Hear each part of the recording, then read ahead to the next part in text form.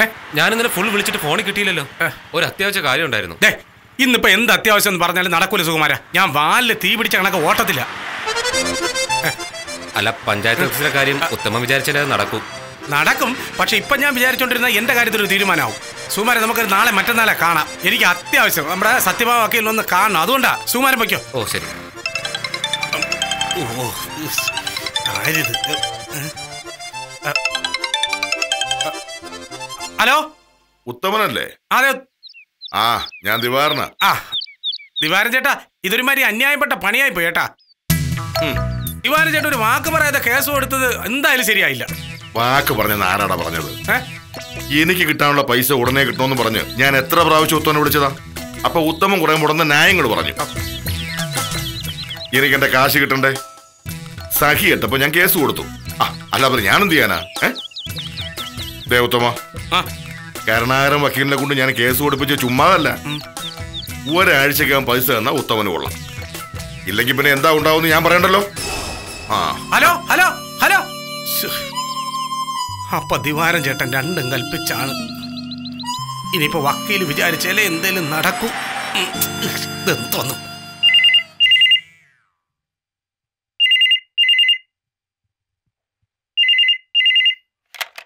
Hello? അതെ സത്യഭാമയാണ് ആ പൗലൂസേട്ടാ. എന്തൊക്കെയുണ്ട് വിശേഷം? കേസ് വിധിയായിട്ട് ഇപ്പൊ മാസം ഒന്നായി. ഇതുവരെ ഒന്ന് വിളിച്ചു പോലും ഇല്ല. സദാൻ സാറിന്? എന്ന്? ശരി. ഇപ്പൊ എന്താണ് വിളിച്ചത്? അയ്യോ സമയം തീരെ ഇല്ല ചേട്ടാ. എന്തായാലും നാളെ ഒന്ന് വിളിക്ക്. ശരി. ടൗണിൽ സ്റ്റേഷനറി കട നടത്തുന്ന പൗലോ ചേട്ടന്. ഒരു കേസിന് കാര്യം പറയാൻ വിളിച്ചതാ. ഞാനത് വാദിക്കും. പണിയൊക്കെ നിർത്തിയോ? അതല്ല. ഇതിനു മുന്നത്തെ കേസ് പൗലോ ചേട്ടൻ സദാനന്ദ സാറിനെ ഏൽപ്പിച്ചാണ് സാറിന് അപ്പൊ സമയമില്ലാത്തതുകൊണ്ട് സാർ ആ കേസ് അപ്പൊ എന്നെ ഏൽപ്പിച്ചു. ഞാൻ കഷ്ടപ്പെട്ട് പഠിച്ച് ബാധിച്ച് ആ കേസ് ജയിച്ചു. പക്ഷെ അതിനുശേഷം ഇന്നേ വരെ പൗലോ ചേട്ടൻ ഒന്നും വിളിച്ചിട്ടില്ല. ഇപ്പൊ ഞാൻ ചോദിച്ചപ്പോ പറയാണ് അന്ന് ഞാൻ സദാനന്ദ സാറിനെ വിളിച്ചായിരുന്നല്ലോ. എങ്ങനെയുണ്ട്? കേസ് പഠിച്ചത് ഞാൻ. കഷ്ടപ്പെട്ട് വാദിച്ചു ജയിച്ചതോ ഞാൻ. എന്നിട്ട് ഫോൺ വിളിച്ച് അഭിനന്ദിച്ചത് സദാനന്ദ സാറിനെ. എങ്ങനെയുണ്ടെന്ന് നോക്കണേ? എനിക്കത് വലിയ കാര്യം തന്നെ മോനട്ടാ. നമ്മൾ കഷ്ടപ്പെട്ട് ഒരു ജോലി ചെയ്ത് കഴിയുമ്പോ അതിന്റെ പ്രയോജനം പറ്റിയ ആളുകൾ നമ്മളെ വിളിച്ചൊരു നന്ദി പറയുന്ന ആരായാലും പ്രതീക്ഷിക്കൂലേ മോനട്ടാ? ഇതാ നിന്റെ കുഴപ്പം. നമ്മളൊരു ജോലി ചെയ്യുന്നു. അത് നമ്മുടെ കർമ്മമാണ്. അതിൽ നിന്ന് ലാഭമോ നന്ദിയോ ഒന്നും നമ്മൾ പ്രതീക്ഷിക്കാൻ പാടില്ല. ഫലമിച്ഛിക്കാതെ കർമ്മം ചെയ്യുക എന്നാണ് ഭഗവാൻ പറഞ്ഞിരിക്കുന്നത്. ഫലമിച്ഛിക്കാൻ പാടില്ല നമ്മൾ. പാടില്ല. മോഹനേട്ടൻ ഇങ്ങനെ പറഞ്ഞില്ലെങ്കിൽ അത്ഭുതപ്പെടാനുള്ളൂ. കാരണം മോഹനേട്ടന്റെ സകല കാര്യങ്ങൾ നോക്കുന്ന ഞാനാണല്ലോ. ഷർട്ടും ഉണ്ട് അലക്കി തേക്കുന്നതും ഭക്ഷണം ഉണ്ടാക്കി തരുന്നതും അങ്ങനെ സകല കാര്യങ്ങളും. ഞാൻ ഫലമിച്ചിക്കാതെ കർമ്മങ്ങൾ ചെയ്താലല്ലേ മോഹനേട്ടന്റെ കാര്യങ്ങൾ നടക്കൂ എന്ന് ചുരുക്കാം. മനസ്സിലായില്ല. അയ്യോ. ഇത്രയും കാലത്തിനിടയ്ക്ക് ഞാൻ മോഹനേട്ടന് വേണ്ടി ചെയ്ത എന്തെങ്കിലും ഒരു കാര്യത്തെക്കുറിച്ച് മോഹനേട്ടൻ ഒരു നല്ല വാക്ക് പറഞ്ഞിട്ടുണ്ടോ? ഉണ്ടോ? ഒരു നന്ദിയെങ്കിലും പറഞ്ഞിട്ടുണ്ടോ? ഇല്ല. ആ. എന്താ മോഹനേട്ട ഇങ്ങനെയെന്ന് ഞാൻ ചോദിച്ചിട്ടുണ്ട്. അപ്പൊ മോഹനേട്ട പറയും നീ ഫലമിച്ചിക്കാതെ കർമ്മം ചെയ്യണമെന്ന്. അല്ലേ? ഞാൻ നിനക്ക് വേണ്ടി ഒരുപാട് കാര്യങ്ങൾ ചെയ്യുന്നുണ്ടല്ലോ. അതിന്റെ കടപ്പാടോ നന്ദിയോ ഞാൻ എപ്പോഴെങ്കിലും ചോദിക്കാറുണ്ടോ? അയ്യോ. എനിക്ക് വേണ്ടി ചെയ്ത ആ മഹാകാര്യം എന്താന്നും കൂടെ ഒന്ന് പറഞ്ഞതാ മോഹനേട്ട ഞാനൊന്ന് കേക്കട്ടെ കൊതികൊണ്ടാ? ഞാൻ എല്ലാ ദിവസവും കൃത്യസമയത്ത് വില്ലേജ് ഓഫീസിൽ പോയി വൈകുന്നേരം വരെ ജോലി ചെയ്ത് പൈസ സമ്പാദിക്കുന്നത് എന്തിനാണ്? എന്തിനാ? നിനക്ക് ഒരു പ്രയാസവുമില്ലാതെ സുഖമായി സന്തോഷമായി ജീവിക്കാൻ വേണ്ടി. അതെന്താ നീ ഓർക്കാത്തത്? എനിക്ക് ജീവിക്കാൻ മോഹനയുടെ സഹായം ആവശ്യമില്ല. എനിക്കൊരു തൊഴിലുണ്ട്. മാന്യമായിട്ടുള്ള വരുമാനമുണ്ട്. മോഹനേട്ടന് ഒരു രൂപ പോലും ഇല്ലാതെ ആഘോഷമായിട്ട് എനിക്ക് ജീവിക്കാൻ പറ്റും. ഇതൊക്കെ നിനക്ക് വെറുതെ തോന്നുക നമ്മൾ മനുഷ്യർക്ക് ഈ ഭൂമിയിൽ ഓരോരോ ഉത്തരവാദിത്തങ്ങളുണ്ട്. അതൊക്കെ നമ്മൾ ചെയ്യുക. മറ്റുള്ളവർ നമ്മൾ അംഗീകരിക്കണമെന്നോ കടപ്പാട് കാണിക്കണമെന്നോ എന്നും ഒരിക്കലും നമ്മൾ ആഗ്രഹിക്കാൻ പാടില്ല. മോഹനേട്ടൻ ഒരാൾക്ക് ഒരു ഉപകാരം ചെയ്തു കൊടുക്കുന്നു എന്ന് കരുതുക. അതിന്റെ ഒരു നന്ദിയും അയാൾ തിരിച്ച് കാണിക്കുന്നില്ലെങ്കിൽ മോഹനേട്ടന് എന്തു തോന്നും? എന്റെ മോഹനേട്ട എല്ലാ മനുഷ്യന്മാരുടെ ഉള്ളിൽ അംഗീകാരത്തിനുള്ള ഒരു ആഗ്രഹമുണ്ട്. വിദ്യാഭ്യാസത്തിന്റെ കാര്യം തന്നെ നമുക്ക് എടുക്കാം. മോഹനട്ട ഒരാൾക്ക് ഒരു സർട്ടിഫിക്കറ്റ് കൊടുക്കുന്നു. അത് മോഹനേട്ടന്റെ ജോലിയാണ്. സർട്ടിഫിക്കറ്റ് കിട്ടുന്നയാൾക്ക് മോഹനേട്ടനോട് നന്ദി പറയേണ്ട ഒരു കാര്യമില്ല പക്ഷെ അയാൾ നന്ദി പറഞ്ഞിട്ടുണ്ടെങ്കിൽ മോഹനേട്ടൻ പത് സന്തോഷാവില്ലേ? ഇല്ലേ? ഞാൻ കഷ്ടപ്പെട്ട് വാദിച്ച ഒരു കേസ് ജയിക്കുമ്പോ ആ കേസ് ജയിച്ച കക്ഷി എന്നോട് ഒരു നല്ല വാക്ക് പറയണ്ട മോനട്ടാ. അതൊക്കെയല്ലേ എന്റെ ഒരു സന്തോഷം. വക്കീലേ ഉത്തമനാണ്. ഏതെങ്കിലും കേസുമായി വന്നതാവും. ഇങ്ങനെ ഓരോരോ കേസ് പിടിച്ചു തരാൻ ആ ഉത്തമനുള്ളത് കൊണ്ടാണ് നീ ഇങ്ങനെ വലിയ വക്കീലായിട്ട് ഞെളിഞ്ഞ് നടക്കുന്നത്. അതിന്റെ ഒരു നന്ദി നീ പോയി ഉത്തമനോട് കാണിക്കേ. ഞാൻ അങ്ങനെ പറയാറുണ്ട്. സംശയം ഉത്തമനോട് ചോദിച്ചു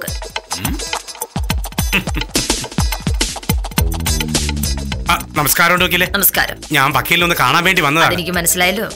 എന്തെങ്കിലും ഒരു കേസിന്റെ കാര്യത്തിനായിരിക്കും ആ കാര്യം പറയുന്നതിന് മുന്നേ ഞാനൊരു ചോദ്യം അങ്ങോട്ട് ചോദിക്കും. എന്താണ് വക്കീലേ?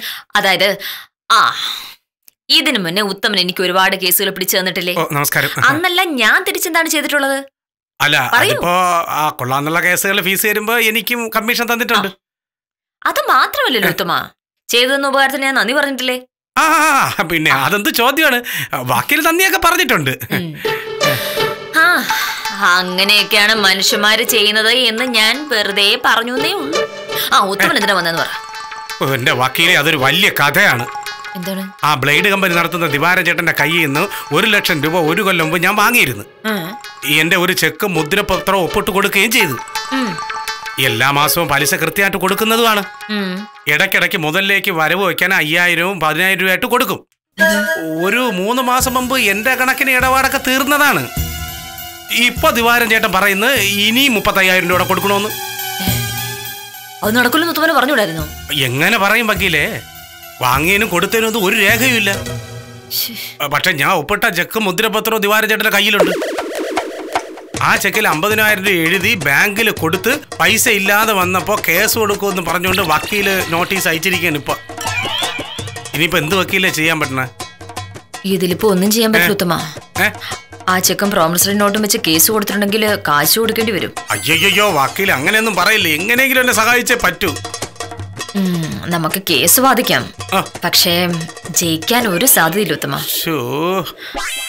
അങ്ങോട്ട് കാശ് കൊടുത്തതിന്റെ രസീത് വല്ലതും വാങ്ങിച്ചെടുത്തെങ്കിൽ ഈ പ്രശ്നമൊന്നും ഉണ്ടാവില്ലായിരുന്നു. ഇനിയിപ്പോ എന്ത് ചെയ്യാൻ പറ്റും? ഈ ദിവാരഞ്ഞിട്ടോട് സംസാരിച്ച് ഒത്തുതീർപ്പാക്കാൻ പറ്റുമോ നടക്കൂല വക്കീലേ. അയാളുടെ സ്വഭാവം വക്കീലിന് അറിയാലോ കാശ് കിട്ടാൻ വേണ്ടി എന്തും ചെയ്യും. ഒരാഴ്ചക്കുള്ളിൽ പൈസ കൊടുത്തില്ലെങ്കിൽ കോടതിയിൽ വെച്ച് കാണാന്നാണ് എന്റെ അടുത്ത് പറഞ്ഞത്. തൽക്കാലം ഉത്തമൻ ചെല്ല. എന്താ ചെയ്യാൻ പറ്റുമെന്ന് ഞാനൊന്ന് ആലോചിക്കട്ടെ. ആ പിന്നെ വക്കീലെ പൈസ കൊടുക്കാൻ പറഞ്ഞ എന്റെ കയ്യിൽ ഒരു രൂപ പോലും ഇല്ല. വേറെ എന്തെങ്കിലും വഴിയിൽ ഒരു തീരുമാനം ഉണ്ടാക്കിയാലേ പറ്റൂ. ഞാനൊന്ന് നോക്കട്ടെ. ഒത്തുമിച്ചല്ലേ? ഓ ശരി ശരി. ഇതാണ് ഞാൻ പറയുന്നത്. കൊള്ളപ്പലിശക്കാരുടെ കയ്യിൽ നിന്ന് കാശ് കടം വാങ്ങരുത് കടം വാങ്ങരുത് എന്ന്. ഇപ്പൊ മനസ്സിലായോ അതിന്റെ കുഴപ്പങ്ങൾ എന്തൊക്കെയാണെന്ന്? നിന്നെ ഒരുപാട് സഹായിച്ചിട്ടുള്ളല്ലോ ഉത്തമൻ? അപ്പൊ ഉത്തമൻ നീ സഹായിക്കണം. തിരിച്ച് സഹായിക്കാനുള്ള ഉത്തരവാദിത്വവും നിനക്കുണ്ട്. ചുണ ഉണ്ടെങ്കിൽ ഈ കേസ് വാദിച്ച് ഉത്തമനെ രക്ഷിക്കുക. ആ. അല്ല ഇതിലിപ്പോ ഞാനെന്ത് ചെയ്യാനാ? അത് കൊള്ളാലോ. ഓ അത്ര വലിയ വർത്താനം പറയേണ്ട കാര്യമൊന്നുമില്ല മോനട്ടാ. ഉത്തമൻ എന്നെ മാത്രമല്ലല്ലോ മോഹനേട്ടൻ ഒരുപാട് സഹായിച്ചിട്ടില്ലേ? മോഹനേട്ടൻ എന്ത് കാര്യം പറഞ്ഞാലും ഉത്തമൻ അപ്പൊ തന്നെ അത് നടത്തി തരാറുണ്ട്. അപ്പം മോഹനേട്ടൻ അത് തിരിച്ചു സഹായിക്ക്. ഈ കാര്യത്തിൽ ഞാനിപ്പോ എന്ത് ചെയ്യാനാ? എന്താണ്? കേസും കോടതിയായിട്ട് എനിക്ക് വല്ല ബന്ധമുണ്ടോ? ഞാനൊരു പാവമില്ലേ കേസും കോടതി ഒന്നും വേണ്ട. എന്തായാലും ഉത്തമപ്പെട്ടു ഒരാഴ്ചക്കുള്ളിൽ പൈസ കൊടുത്തില്ലെങ്കിൽ കേസാവും. കേസ് കോടതി വന്നിട്ടുണ്ടെങ്കിൽ ഒന്നെങ്കിൽ ജയിലിൽ പോകണം അല്ലെങ്കിൽ കോടതി ചെലവും പലിശ എല്ലാം കൂടെ ചേർത്ത് പൈസ തിരിച്ചു കൊടുക്കണം. അതുകൊണ്ട് ഞാനിപ്പോ എന്ത് ചെയ്യാനാ? മോഹനേട്ടന് ഇഷ്ടംപോലെ കാശിരിക്കുന്നുണ്ടല്ലോ അതിൽ നിന്നൊരു മുപ്പത്തയ്യായിരം രൂപ ഉത്തമന് കടവായിട്ട് കൊടുത്തിട്ടുണ്ടെങ്കിൽ ഉത്തമൻ ആ പൈസ ദിവാകരൻ ചേട്ടൻ കൊടുത്ത് കടവല്ല അങ്ങ് തീർക്കും. എന്താ? ആ? മോഹനേട്ടൻ ഉത്തമൻ ഇതുവരെ ചെയ്തു ചെയ്തെന്ന സഹായങ്ങൾ നോക്കിയിട്ടുണ്ടെങ്കിൽ ഇത് വളരെ നിസ്സാരമാണ് മോഹനേട്ട. മൂന്നാൽ മാസം കൊണ്ട് ഉത്തമൻ അത് തിരിച്ചറിയുകയും ചെയ്യും. അങ്ങനെ ഓരോരുത്തർ ചോദിക്കുമ്പോ ചോദിക്കുമ്പോ വാരി കോരി കൊടുക്കാൻ എന്റെ കൈ പൈസ ഒന്നുമില്ല എന്നോട് ഉത്തമൻ ചേട്ടൻ കാശ് വാങ്ങിയത്.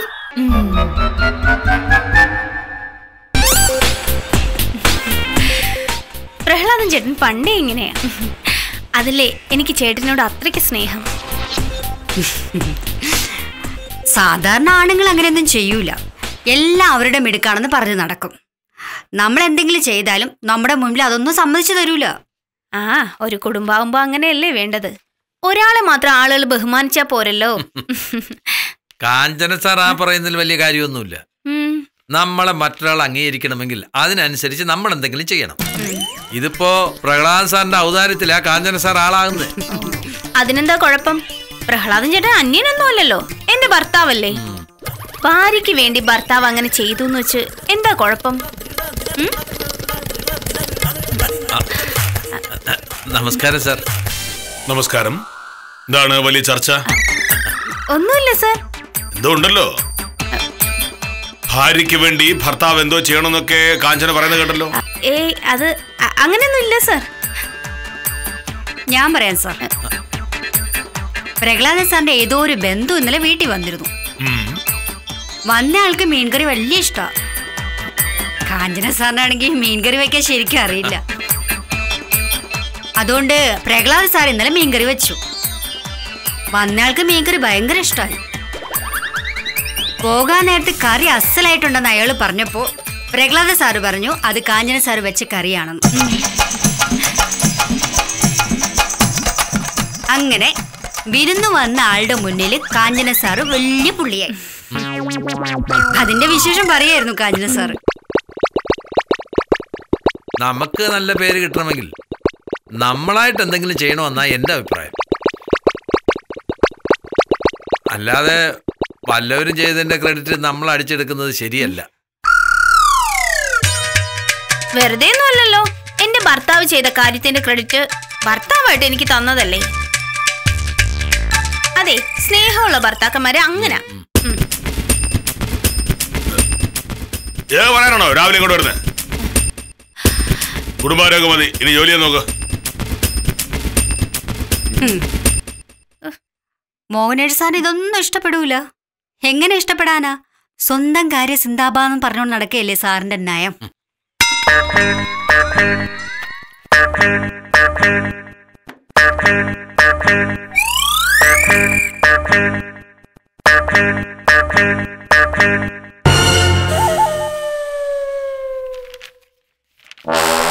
ആ നമ്പർ കിട്ടിയായിരുന്നോ? ആ നമസ്കാരം കാഞ്ചന മേഡം. നമസ്കാരം. നമസ്കാരം പ്രഭ മേഡം. ഇതാരാ ദിവാരൻ ചേട്ടനോ? എന്തൊക്കെയാണ് ദിവാരൻ ചേട്ടാ വിശേഷങ്ങൾ? കൃഷി ഓഫീസിന്റെ അടുത്തുള്ള അറുപത് സെന്റ് സ്ഥലം ദിവാരൻ ചേട്ടൻ വാങ്ങിച്ച കാര്യമൊക്കെ ഞങ്ങൾ അറിഞ്ഞു. ദിവാരൻ ചേട്ടന്റെ എന്തിന്റെ കുറവാ? അറുപത് സെന്റോ അറുന്നൂറ് സെന്റോ വാങ്ങാനുള്ള സൗകര്യം ഉണ്ടല്ലോ. വാസ്തവ. ദിവാകരൻ ചേട്ടന്റെ കയ്യിൽ നിന്ന് പലിശയ്ക്ക് വാങ്ങിക്കാനേ ആൾക്കാർ ക്യൂ നിൽക്കുകയല്ലേ? പിന്നെ ദിവാകരൻ ചേട്ടന് എന്താ പാടില്ലാത്തത്? എന്റെ പൊന്ന് കാഞ്ഞന സാറേ നമ്മൾ എങ്ങനെയാണ് ജീവിച്ചോട്ടെ? ആ പ്രൊഫസറെ ഇത് പോക്കുവരവിനുള്ള അപേക്ഷയാ. ആധാരവും മുന്നാധാരവും ഒക്കെ ഉണ്ട്. എത്രയും പെട്ടെന്ന് പോക്കുവരവ് നടന്നു കിട്ടിയ എനിക്ക് ആ സ്ഥലത്തിന്റെ കെട്ടിടത്തിന്റെ പണി തുടങ്ങായിരുന്നു പന്ത്രണ്ട് കടമുറി പണിയാനാ പരിപാടി. ഓഹോ അപ്പൊ അതിന്റെ വാടകയും കിട്ടും. ഭഗവാനെ എനിക്കൊക്കെ ദിവാരം ചേട്ടനെ പോലെ ജീവിക്കാൻ പറ്റണത് എപ്പോഴാണോ എന്തോ ദിവാരൻ ചേട്ടാ. ആ. നമസ്കാരം സാറേ. നമസ്കാരം. ഞാൻ ഈ പോക്കൂരുവിന്റെ കാര്യം പറയാൻ വേണ്ടി വന്നതാ. ഞാനും ചേട്ടനെ ഒന്ന് കാണാൻ വേണ്ടി ഇരിക്കുകയായിരുന്നു എന്തായാലും ചേട്ടൻ ഇങ്ങോട്ട് വന്നല്ലോ. ചേട്ടൻ ഒന്നും കേട്ടു ഒരു രഹസ്യമുണ്ട്.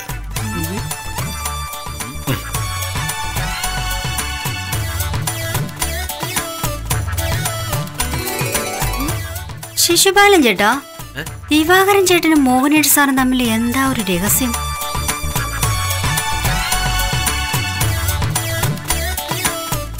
അപ്പോ ദിവാകരൻ ചേട്ടൻ വന്ന് എന്തിനാ പറഞ്ഞേ? വസ്തു പോക്കുവരെ ആ വസ്തു പോക്കുവരാനായിട്ട്. ഞാൻ പെട്ടെന്ന് മറന്നുപോയി. അല്ല ദിവാരൻ ചേട്ടാ ഈ പോക്കുവരവിന്റെ രീതികളെ പറ്റിയൊക്കെ ദിവാരൻ ചേട്ടൻ അറിയാലോ അല്ലേ ദിവാകരൻ ചേട്ടൻ അപേക്ഷ തരുന്നു. ഞാൻ ആ അപേക്ഷ പരിശോധിക്കുന്നു. എല്ലാം ശരിയാണ് എന്ന് എനിക്ക് ബോധ്യമാകുകയാണെങ്കിൽ മാത്രം ഞാനത് താലൂക്ക് ഓഫീസിലേക്ക് അയക്കും. എല്ലാം ശരിയാണ് സാർ. എന്ന് ദിവാകരൻ ചേട്ടൻ പറയുന്നല്ലേ ഒരാധാരം എടുത്തു വെച്ച് അതിലൊരു പത്ത് ശരികേട് കണ്ടുപിടിക്കാൻ ഏത് വില്ലേജ് ഓഫീസർക്കും പറ്റും. നിസ്സാരമായ ഒരു കുറവ് കണ്ടുപിടിച്ചാൽ അതിന്റെ പേരിൽ പോക്കുവരവ് നടത്താതിരിക്കാനുള്ള അധികാരവും വില്ലേജ് ഓഫീസർക്കും അങ്ങനെ വില്ലേജ് ഓഫീസർ പോക്കുവരവ് നടത്തിത്തരാതിരുന്നാൽ കരമടയ്ക്കാൻ പറ്റില്ല. കരമടയ്ക്കാതിരുന്നാൽ ആ ഭൂമിയിൽ ഒരു ചുക്കും ചെയ്യാൻ ദിവാകരചരന് പറ്റുകയുമില്ല. സ്വയം പ്രഭയോട് പറഞ്ഞ പോലെ കെട്ടിടം പണിയാനോ വാടകയ്ക്ക് കൊടുക്കാനോ ഒന്നും പറ്റില്ല. സാറെന്തിനാ ഇതൊക്കെ പറയുന്നേ? സാറ് പോക്കുവരവ് ഇത് തരുമല്ലോ. ഇല്ല. ദിവാകരൻ ചേട്ടന്റെ വസ്തു പോക്കുവരവ് ചെയ്യണ്ട എന്ന് ഞാൻ തീരുമാനിച്ചു. എപ്പോ? ഇപ്പോ. ഇനിയിപ്പോ ദിവാകരൻ ചേട്ടന്റെ മുന്നിൽ ഒരൊറ്റ വഴിയും കോടതിയിൽ പോകും ഇങ്ങനെ ഒരു കേസുമായി കോടതിയിൽ പോകാൻ വിധിയാകാൻ കുറഞ്ഞതൊരു നാലു കൊല്ലങ്ങൾ എടുക്കും. അത് കഴിഞ്ഞ് കെട്ടിടം പണി തുടങ്ങിയാൽ മതിയെങ്കിൽ മതി. സാർ എന്താ ഇങ്ങനെയൊക്കെ സംസാരിക്കുന്നേ? സാർ വലിയ സത്യസന്ധനല്ലേ? അതാണല്ലോ പ്രശ്നം. സത്യസന്ധത വില്ലേജ് ഓഫീസിലെ കാര്യങ്ങളിൽ മാത്രമല്ല സകല കാര്യങ്ങളിലും വേണമെന്ന് നിർബന്ധമുള്ള ആളാണ് കെ മോഹനകൃഷ്ണൻ. അല്ല മനസ്സിലായില്ല. ഉത്തമൻ ദിവാകരൻ ചേട്ടന്റെ കയ്യിൽ നിന്ന് വാങ്ങിയ പൈസ പലിശ തകം തിരിച്ചു തന്നിട്ടും മുട്ടാപ്പോക്ക് ന്യായം പറഞ്ഞ് ഇനിയും മുപ്പത്തയ്യായിരം രൂപ വേണമെന്ന് പറഞ്ഞ് വക്കീലിനോട്ട് സഹിച്ചത് അയച്ചത് സത്യത്തിൽ സത്യത്തിന് നിരക്കുന്ന വേലയാണോ ദിവാകരൻ ചേട്ടാ? അല്ല അതിപ്പം സാറെന്തിനാ അറിയണേ? ഒരു വില്ലേജ് ഓഫീസർ ആവുമ്പോൾ എല്ലാം അറിയണല്ലോ. സാറേ ഞാൻ ഉത്തമന്റെ കാര്യത്തിൽ ദിവാകരൻ ചേട്ടൻ കാണിച്ചത് ശുദ്ധ തോന്നിവാസമാണ് അതിനൊരു പരിഹാരം കാണാതെ ദിവാകരൻ ചേട്ടന്റെ പോക്കുവരവ് നടക്കില്ല എന്ന കാര്യത്തിൽ എനിക്ക് ഒരു സംശയമില്ല സാറേ ഇത് അന്യായമാണ്. ഞാൻ തഹസിൽദാർക്ക് പരാതി കൊടുക്കും. തഹസിൽദാർക്കല്ല റവന്യൂ മന്ത്രിക്ക് പരാതി കൊടുത്തിട്ട് ഒരു കാര്യമില്ല അവർക്കൊക്കെ കെ മോഹനകൃഷ്ണൻ നന്നായിട്ട് അറിയാം ഉത്തമന് വക്കീലിനോട് സഹിപ്പിച്ചത് കരുണാകരൻ വക്കീലിനെ കൊണ്ടല്ലേ? നേരെ പോയി കരുണാകരൻ വക്കീലിനെ കണ്ട് ഈ കേസ് ഉടങ്ങേൽപ്പിക്കും ഇപ്പോഴേ കേസ് കൊടുത്താൽ ഒരു നാലഞ്ച് കൊല്ലം കൊണ്ട് കേസിന്റെ കാര്യത്തിൽ തീരുമാനമാവും വേറെ വിശേഷമൊന്നുമില്ലല്ലോ?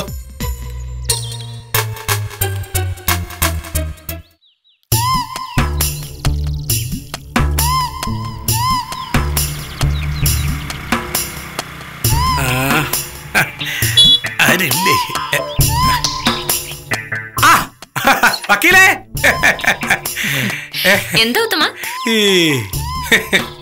കൊള്ളാം. എന്താണെന്ന്? ഓ സംഭവം അറിഞ്ഞപ്പോ തന്റെ വക്കീൽ ഒന്നൊന്ന് കാണുമെന്ന് വിചാരിച്ച്. അങ്ങനെ ഞാൻ പറന്ന് വരികയായിരുന്നു. എന്താ ഉത്തമ കാര്യം? ഉത്തമ ഭയങ്കര സന്തോഷത്തിലാണല്ലോ പൈസ കിട്ടിയോ? വക്കീൽ ഒരുമാതിരി ആളെ കളിയാക്കല്ലേ? എന്താണ്? എല്ലാം വക്കീൽ അറിഞ്ഞു എന്നുള്ള കാര്യം എനിക്കറിയാലോ. ചോ എന്തായാലും ഞാൻ രക്ഷപ്പെട്ടു വക്കീലേ. വക്കീലോട് എത്ര നന്ദി പറഞ്ഞാലും തീരൂല. ഉത്തമ കാര്യം എന്താ വെച്ചാ പറ. ആ അത് കൊള്ളാം. വക്കീലായിട്ടൊരു കാര്യം ചെയ്തിട്ട് ഇനി ഞാൻ തന്നെ അത് വക്കീലിനടുത്ത് പറയണോ? കുറച്ചു മുമ്പ് ദിവാരൻ ചേട്ടൻ എന്നെ വിളിച്ചിട്ടൊന്ന് കാണണമെന്ന് പറഞ്ഞു. ഞാൻ കരുതി പിന്നെ എന്നെ വരട്ടാനായിരിക്കുമെന്ന്. പക്ഷെ അവിടെ ചെന്നപ്പോഴേ കാര്യം മനസ്സിലായത്. എന്നെ കണ്ടപാടെ ദിവാര ചേട്ടൻ ഓടി വന്ന് കെട്ടി ഒരു പിടുത്തം. എന്നിട്ട് എന്റെ അടുത്ത് പറയാണ് ഉത്തമ നമ്മൾ തമ്മിൽ എത്ര വർഷത്തെ പരിചയം ഉണ്ടടാ? എന്നിട്ടാണോ ഈ നിസ്സാര പൈസയുടെ പേരിൽ ഞാനും ഉത്തമനും തമ്മിൽ പിണങ്ങുന്നത് എന്ന്? അപ്പം ഞാൻ പറഞ്ഞു ഞാനല്ലല്ലോ ദിവാര ചേട്ടനല്ലോ പിണങ്ങിയത്. അപ്പൊ ദിവാര ചേട്ടൻ എന്റെ അടുത്ത് പറയുക നമ്മൾ തമ്മിൽ ഒരു പിണക്കവും ഇല്ല. ഞാൻ ആ കേസ് പിൻവലിക്കാൻ പോവുകയാണ്. ബാക്കി തരാനുള്ള മുപ്പത്തയ്യായിരം രൂപ തരണ്ടാന്ന്. ബാക്കി തരാനുള്ള മുപ്പത്തയ്യായിരം രൂപ ഉത്തമം തരണ്ടാന്ന്. ആദ്യം ഞാൻ കരുതി ദിവാര ചേട്ടൻ തമാശ പറയായിരിക്കുമെന്ന് പിന്നെ പറഞ്ഞു വന്നപ്പോഴല്ലേ കാര്യം മനസ്സിലായത്. ദേ വക്കീൽ ഒരാൾ കാരണമാണ് ദിവാര ചേട്ടന്റെ മനസ്സ് മാറിയത്. ഞാൻ കാരണം? ആ. ദിവാരൻ ചേട്ടൻ പറയുകയാണ് സത്യഭാമ വക്കീലല്ലേ ഉത്തമന്റെ വക്കീൽ? സത്യഭാമ വക്കീലിനോട് മത്സരിക്കാനൊന്നും കർണാരം വക്കീൽ വളർന്നിട്ടില്ല. കേസ് നടത്തിയാൽ തോക്കുമെന്നുള്ള കാര്യം ഉറപ്പാ. അതുകൊണ്ടാണ് ഞാൻ കേസ് പിൻവലിക്കുന്നത് എന്ന്. എന്റെ മുഖത്ത് നോക്കിയല്ലേ പറഞ്ഞത്. എന്നാലും വക്കീലെ വക്കീൽ ഇത്രയും വലിയ വക്കീലാണെന്നുള്ള കാര്യം ഞാൻ അറിഞ്ഞില്ല കേട്ടാ. പക്ഷേ എനിക്കിപ്പോ കാര്യം മനസ്സിലായിട്ടില്ല. അപ്പൊ കർണാടക വക്കീൽ വക്കീലിന്റെ അടുത്തൊന്നും പറഞ്ഞില്ലേ? അയ്യോ ഞാൻ കരുതി കരുണാകരൻ വക്കീൽ പറഞ്ഞ് വക്കീലെല്ലാം അറിഞ്ഞു കാണുമെന്ന്. അല്ല കരുണാകരൻ വക്കീൽ എങ്ങനെ പറയും? അയാൾക്ക് ആകെ ചമ്മലായി കാണുമല്ലോ. വക്കീലിനെ പേടിച്ചല്ലേ കരുണാകരൻ വക്കീലിന്റെ കക്ഷി കേസ് വേണ്ടാന്ന് വെച്ചത്. അത് കരുണാകരൻ വക്കീലിനൊരു നാണക്കേടാണല്ലോ. അപ്പൊ പിന്നെ എങ്ങനെ പറയും? ഓ ഇനി എനിക്ക് ധൈര്യമായിട്ട് നാട്ടുകാരോട് പറയാം. ഒരു കേസ് ഉണ്ടെങ്കിൽ സത്യഭാമ വക്കീലിനെ ഏൽപ്പിച്ചാൽ മതി. സത്യഭാമ വക്കീലിനോട് മുട്ടാൻ പറ്റിയ ഒരു വക്കീൽ ഈ നാട്ടിലില്ല എന്ന്. എന്താ എന്നാ ഞാൻ വരട്ടെ വക്കീലെ? ശരി. സത്യം പറഞ്ഞ വക്കീലിന് പരിചയമുള്ളത് എന്റെ ഭാഗ്യമാ. ഓ ശരി ശരി ശരി. ആ എന്തെങ്കിലും ഉണ്ടെങ്കിൽ വിളിച്ചാൽ മതിയേ ആ. കരുണാകരൻ വക്കീൽ അങ്ങനെ പേടിച്ചൊഴിവാകൂ?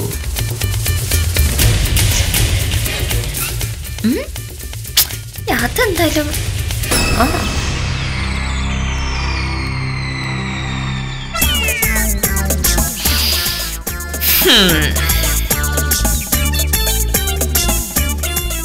മോഹനേട്ട മോഹനേട്ട.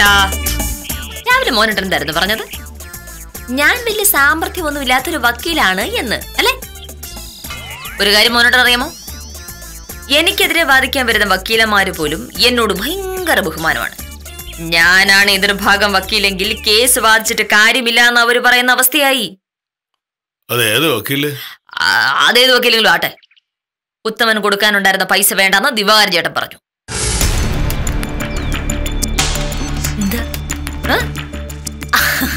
ദിവാകരൻ ചേട്ടൻ പൈസ വേണ്ടെന്ന് പറഞ്ഞത് എന്തുകൊണ്ടാണെന്ന് അറിയാമോ?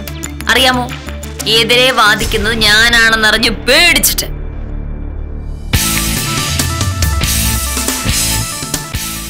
സാറേ. എനിക്കൊരു കാര്യം പറയാനുണ്ടായിരുന്നു. എന്ത് കാര്യം? അല്ല ഉത്തമന്റെ പൈസ എനിക്ക് വേണ്ട. പറഞ്ഞു വരുമ്പോ തരാനുള്ള പൈസ മുഴുവൻ തന്നിട്ടുണ്ട്. പക്ഷേ പലിശയുടെ ബിസിനസ് ആകുമ്പോ ചിലപ്പോ ഇങ്ങനെയൊക്കെ വേണ്ടി വരും. അത് ശരിയല്ലല്ലോ ദിവാകരൻ ചേട്ടാ. ആ ശരിയല്ലെന്ന് മനസ്സിലായി. ഉത്തമനെതിരെയുള്ള കേസ് ഇന്ന് എന്നെ പിൻവലിച്ചേക്കാം. സത്യം സാറേ. ഉത്തമന്റെ ചെക്കും എഗ്രിമെന്റ് ഇന്ന് എന്നെ തിരിച്ചു കൊടുത്തേക്കാം. സാറേ എന്റെ പോക്കുവരവിന്റെ കാര്യം. ആദ്യം ഞാൻ പറഞ്ഞു നടക്കട്ടെ? അത് കഴിഞ്ഞ് പോക്കുവരവ്. ഓ ഓ മതി സാറേ. ആ പിന്നെ. ദിവാകരൻ ചേട്ടൻ ഇപ്പൊ കേസ് പിന്നെ വിളിക്കുന്നത് ഞാൻ പറഞ്ഞിട്ടാണ് എന്ന് ആരോടും പറയണ്ട. കരുണാകരൻ വക്കീൽ പറഞ്ഞങ്ങ് പറഞ്ഞാൽ മതി. അല്ല ഉത്തമന്റെ വക്കീൽ അഡ്വക്കേറ്റ് സത്യഭാമയാണല്ലോ. സത്യഭാമ ജയിക്കും എന്ന് പേടിച്ച് കരുണാകരൻ വക്കീൽ ഒഴിഞ്ഞു മാറി എന്നങ്ങ് പറഞ്ഞാൽ മതി. വേറൊന്നും കൊണ്ടല്ല. ഞാനിതിൽ ഇടപെട്ടെന്ന് പറഞ്ഞാൽ പലരും സഹായം ചോദിച്ചു വരും. ഓ ശരി സാറേ.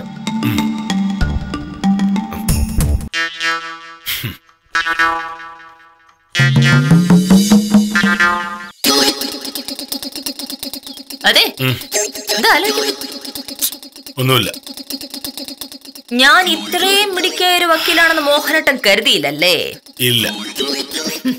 മോഹനട്ടൻ ഇനിയെങ്കിലും മനസ്സിലാക്കൂ ഞാൻ ഒരു ഭയങ്കര സംഭവമാണ്. ഒരു ചായ കിട്ടോ? ചായ. എന്നാലും എന്നെ പറ്റി ഒരു നല്ല വാക്ക് പറയല്ലേ? നിന്നെ പറ്റി ഞാൻ നല്ല വാക്ക് പറയേണ്ട കാര്യം എന്താ? ഉത്തമെന്ന് പറഞ്ഞില്ലേ? അതുപോലെ. ഭാര്യയ്ക്ക് മറ്റുള്ളവരുടെ മുമ്പിൽ ഒരു വിലയുണ്ടാക്കി കൊടുത്ത് വില്ലേജ് ഓഫീസർ മാതൃകാ ഭർത്താവാകുന്ന കാഴ്ചയാണ് നമ്മൾ കണ്ടത്.